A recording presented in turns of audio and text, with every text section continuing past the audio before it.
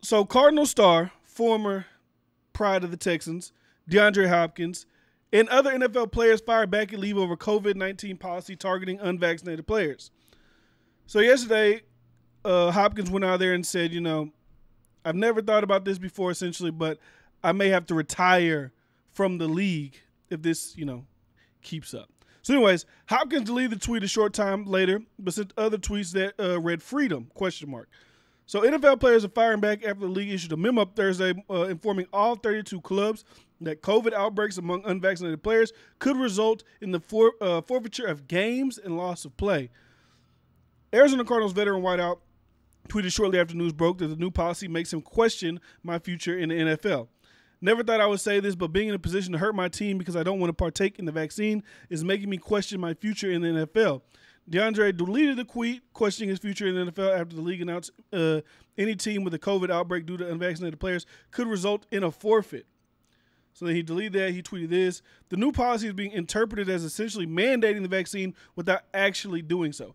NFL Commissioner uh, Robert Goodell said in the memo that the league does not intend to add another week to accommodate games that need to be rescheduled because of COVID outbreaks. It further stated that outbreaks among unvaccinated players could result in forfeiture and loss of uh, loss of pay for both teams if the games are canceled. So now they're saying, okay, last year, you know, we had to reschedule a couple things, a couple games had to get moved around because we had outbreaks. But you know, this is before we had the vaccine. So now we have the vaccine. And if your players are choosing not to get the vaccine, then you know what? You will lose the game if your team is the one that is, you know, overwhelmingly the cause for us not being able to play. You also lose money because we're not playing this game, so we're not going to pay you. So, in business sense, you can see how that makes sense, right? The NFL's trying to run a smooth ship. Hey, please get vaccinated. We want to continue to play. We don't want to have to try to reschedule because we're not doing that like we did last year. But the only thing with that is being unvaccinated – or being vaccinated, my point, being vaccinated does not exempt you from catching COVID and creating an outbreak. Because the because they're not because the thing isn't oh, you have COVID, but you're vaccinated, so you're just good to live your life. You can do whatever. You can't transfer, you can't do anything. No. So this NFL policy would make sense to me if being vaccinated meant you could not get COVID. But that's not what this means. I literally was just watching Adam 22 two weeks ago. No Jumper podcast, you know, you know, hip hop podcast. He's like, damn, I just I got my two doses. How did I and I catch I caught COVID? So my point is this rule doesn't really make sense to punish unvaccinated players when anybody, vaccinated or unvaccinated, can get COVID and spread it to other people. Now, being vaccinated could help, you know, with symptoms. That's cool and that's great. But if the thing is, oh, this player has COVID, we have to kind of shut down the game. All quarterbacks that were in this room can't play. So, what's the penalty for that? So, there's been a wide sweeping range of like, you know, vaccination campaigns going on. And to me, at this point, as, a, as, as an adult, not children, not kids, as adults, if you haven't got the vaccine yet, that's completely up to you. Because at this point, it's freely available. You can literally walk, like I can literally go into Walmart right now, walk up to the pharmacy, say, "Hey, give me the vaccine." They'll be like, "Okay, we got Pfizer, Moderna, and Johnson Johnson, whatever." Pick it, shot me up. I'll come back in two, three weeks, however process works, and get it again. So there's a lot of you know NFL players who made statements. Let's see what Jalen Ramsey had to say. Is I know two people right now who got the vaccine but are COVID positive. I'm just saying I wouldn't look at teammates as bad if you don't get the vax. No pressure from five. Some of y'all clearly didn't get what I'm saying here, lol. The NFL is pressuring, influencing guys to get the vaccine. They're saying if there's an outbreak, the team will be penalized heavily. My point is, no teammate of mine will feel pressure from me because whether you're vaccinated or not, there's still a chance of getting COVID. I thought my point was simple, but I guess not. Because when it comes to vaccine, if you're just not super pro vaccine, people try to kill you. It's like it's like you, you want to kill everybody. You don't care about humanity. No, because getting the vaccine doesn't mean you can't get and spread COVID. It might mean you might not die. Your symptoms might be light, which is a great thing, which is good. But as far as the NFL rule of passing it, causing outbreaks, it's not like vaccinated people are immune; they'll never get it. Only people unvaccinated will get it. Anybody can still get it. So that rule to me doesn't make too much sense because okay, let's say we control. Let's say Cam Newton, right? Cam Newton is vaccinated. I don't know if he is or not, but let's say Cam Newton is vaccinated. Cam Newton catches COVID. He spreads throughout the quarterback room. Everybody in the quarterback room is vaccinated. We don't have a quarterback this week. We need to. Is that a fine? Is that a penalty? Because everybody in this room is vaccinated. So that's what I'm saying. It's not really a foolproof proof plan with this memo that was sent out by the NFL. There's also more evidence too. Look at this. Let me see if this pulls up. NFL. Let me see. I'm gonna go to the top. Where we at? This is about a head coach, not a head coach. It's about a coach. Here it goes. Viking Rick Dennison reportedly out as assistant coach after refusing COVID 19 vaccine. Rick Dennison is no longer Minnesota Vikings assistant coach after refusing to be vaccinated for COVID 19, ESPN's Courtney Cronin reported on Friday. Dennison has been the team's offensive line coach and run game coordinator for the past two seasons. You know, they got Dalvin Cook, so they've been like, it ain't like he's some scrub coach. They've been doing their thing as far as running the ball.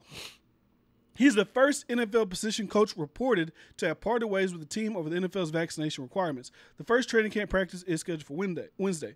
So this is a protocol that the NFL has put down on coaches. Essentially, not even essentially, it is mandatory for tier one staff to get the vaccine if you want to work in NFL. So, tier one staff, which includes coaches, front office execs, equipment managers, and scouts, are required to receive a vaccine. There's an exception made for those who provide a valid religious or medical reason for doing so per a memo released by the league earlier this offseason. Those who aren't vaccinated lose tier one status and by virtue are not allowed on the field, in meeting rooms, or having any direction or direct interaction with players. Players are not required to be vaccinated, but face stricter safety protocols throughout the season if they remain unvaccinated. The league also sent a memo to teams on Thursday outlining harsh consequences for teams. We just read about all that in regards to Deon, uh, DeAndre Hopkins. So, like on one side, I get where the NFL is trying to come from. I get it. The NFL is trying to move along, make money, secure TV deals, and keep the ball rolling. They don't want to have to reschedule games for week 19 and do this. They don't want to do that. So, on one hand, I get it. But also, like I said earlier, getting the vaccine does not guarantee that you will not get COVID and spread it to other people. So to me, that does not that does not make any difference if you got it or not. So also we got Jemele Hill. Uh, she's residently uh, to chime in on things of this nature. So she said these tweets. She said, "If you aren't vaccinated, you can't expect to have the same privileges as people who have been vaccinated. Live with your personal choice and the consequence that comes with it. This does not apply to people with medical reason for being unvaccinated." It's like I get it.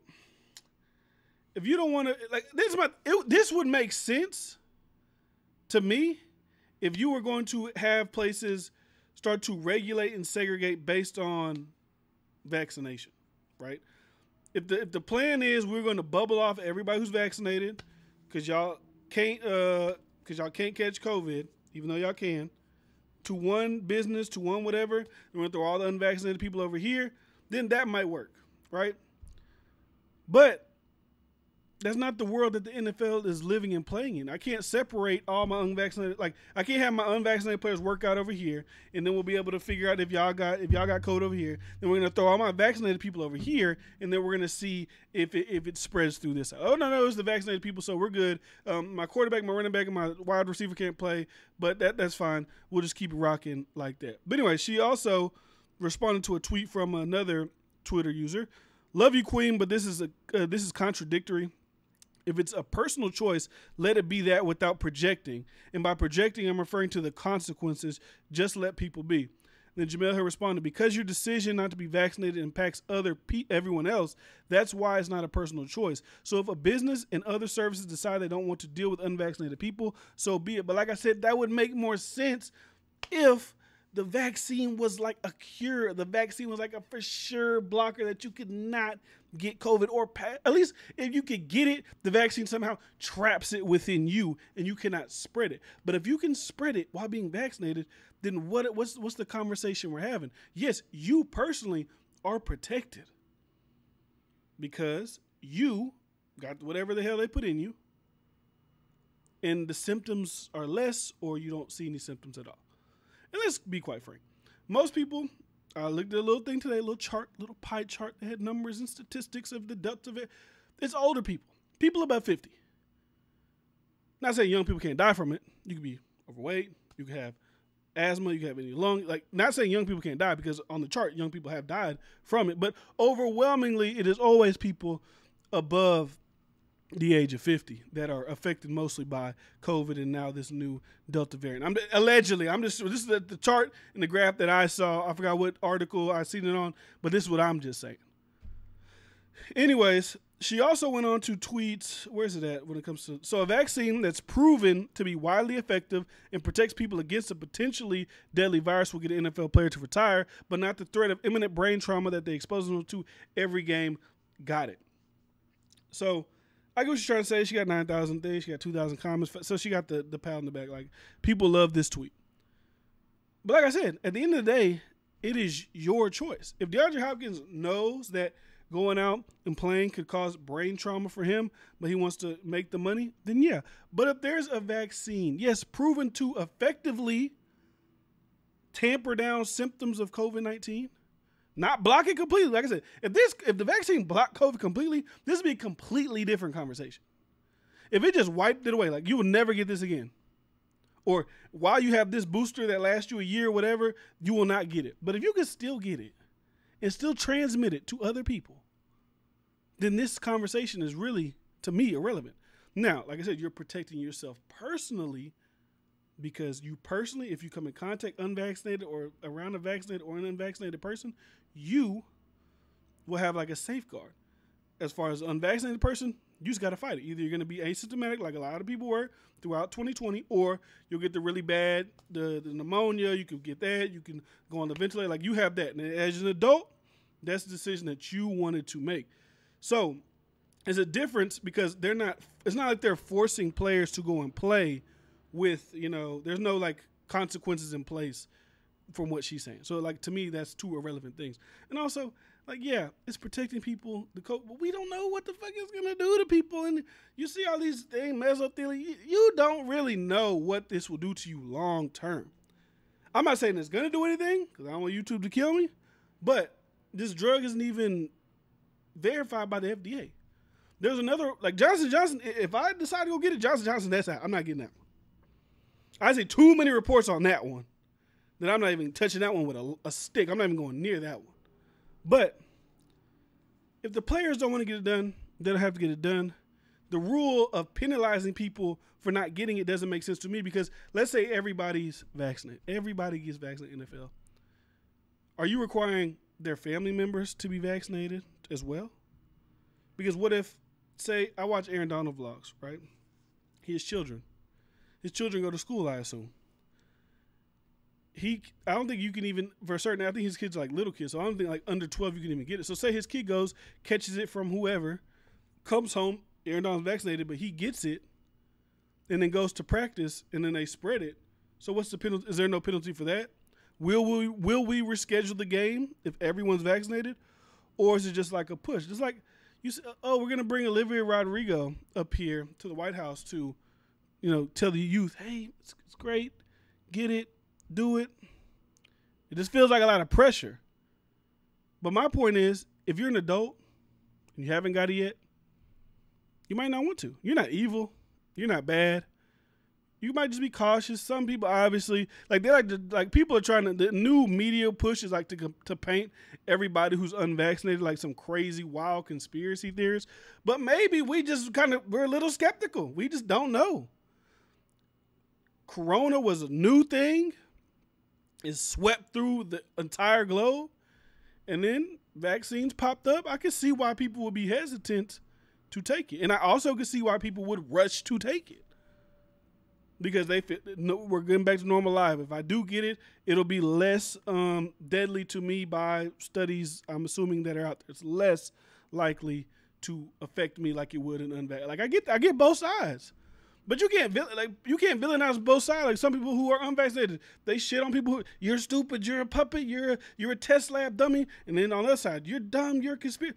Hey, let everybody do what they want to do. I don't think jobs should force people to do things that they don't want to do, especially with a drug that's not FDA approved. Let me. I, I keep saying that, but I would like to just verify while I'm here. I don't want to, you know. Okay.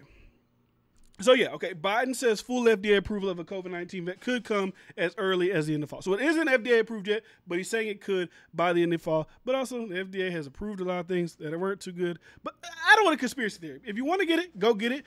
Great. You see a lot of people, they don't, you know, they have lesser symptoms, they have a higher survivability rate. If you don't want to get it, pray that you don't get it and pray if you do get it, it's not as harmful and deadly as we've seen at the beginning of the storm of the COVID. But that's all I really got, man. That's all I got. That's my PSA. If you want to get it, go get it. If you don't go want to go get it, don't. Just go out in public. You know, do what you got to do. Don't get too close to people. You know, wear a mask. If you feel that you're in a space, an area that you need to wear a mask, uh, just let people do their own. It don't got to be a criticism. It don't have to be a condemnation on people at all. But anyways, make sure you subscribe to the channel, man. So you know every single time that I post. Turn on post notifications as well. And uh, give this video a big thumbs up. Comment down below what you guys think about this whole NFL debacle and other. And I seen them today too.